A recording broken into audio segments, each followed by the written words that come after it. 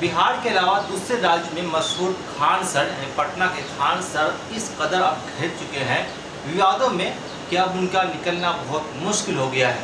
दरअसल, दिल्ली में तीन बच्चों की मौत के बाद जब प्रशासन की टीम, पटना प्रशासन की टीम, खान सर के कोचिंग सेंटर पर पहुँची तो वहाँ पर जो व्यवस्था थी, उसे देखकर प्रशासन के भी हाथ पैर फूलने लगे और दंग रह गए कि आखिर खान सर इतने बड़े यूट्यूबर है, इतने बड़े टीचर है, लेकिन उनकी भी स्थिति बेहतर नहीं है और जो कानूनी तौर पर जो चीज़ ज़रूरी है, लाइट की या फिर जहाँ बच्चे को पढ़ाते हैं, वहाँ भी बेहतर सुविधा नहीं होने से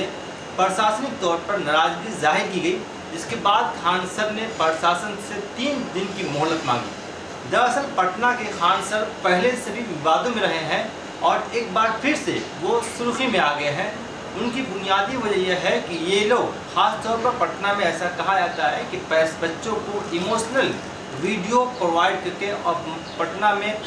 जो बच्चे बाहर से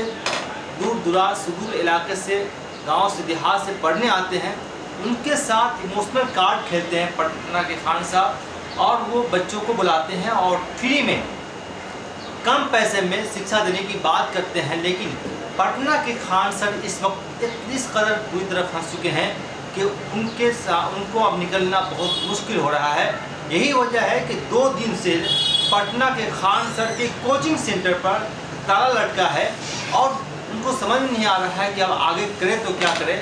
हम आपको यही बताते चले कि पटना प्रशासन, पटना ज़िला प्रशासन ने पटना के कई सौ कोचिंग सेंटरों के मालिकान से मुलाकात की और उनके साथ एक मीटिंग रखी और उसमें साफ़ तौर पर निर्देश दिया गया, एक हुक्म दिया गया कि कैसे एक कोचिंग सेंटर को संचालित किया जा सकता है, कैसे चलाया जा सकता है। कानूनी दाव में रहकर, कानून के दायरे में रहकर, लेकिन गौर करने वाली बात यह है कि पटना के खान सर जो हमेशा विवादों में रहते हैं, अक्सर अपने बयानों को लेकर, और जिनका पढ़ने पढ़ाने का जो तरीका है, उनको लेकर भी कई बार आलोचनाएँ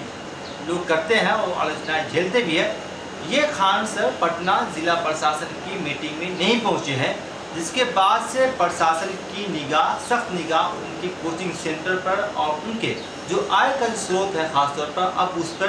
प्रशासन की नज़र पड़ गई है। अब मीडिया सूत्रों के मुताबिक खान सर की आने वाले वक्त में और मुश्किलों में इजाफा हो जाएगा, क्योंकि बार वो पटना के जिला प्रशासन के सपोर्ट नहीं कर रहे हैं, उनके साथ मिलकर किसी काम को कर नहीं रहे हैं। तीन दिन पहले जब स्थानीय एस उनकी कोचिंग सेंटर पर पहुँचे थे तो उन्होंने ये बहाना मारा था, बहाना किया था कि हम आपको तीन दिन, पाँच दिन के बाद आपको कागजात मुहैया कर देंगे, जमा कर देंगे, लेकिन दो दिन गुजरने के बावजूद पटना के खान सर, जो आप तस्वीरों में देख रहे हैं, अब तक उन्होंने कोई भी कागज़ जमा नहीं किया है, जिसके बाद ये आशंका ज़ाहिर की जा रही है कि आने वाले वक्त में पटना प्रशासन, बिहार सरकार और ज़्यादा सख्त खान सर को लेकर हो सकता है, जिससे आने वाले वक्त में पटना के खान सर की मुश्किल में उनकी मुश्किलें बढ़ सकती है, उनकी मुश्किल में इजाफा हो सकता है। फ़िलहाल यह है कि पटना में उनकी कोचिंग सेंटर पर ताला लटका है, जिससे बच्चों को परेशानी हो रही है, लेकिन प्रशासन का ये दावा है कि आप कोचिंग चलाएँ, कानून के दायरे में लेकर जो एनओसी होता है, उनको आप लेकर चलाएँ। लेकिन पटना में अक्सर और बेहतर और ख़ासतौर पर पटना के खान सर बगैर किसी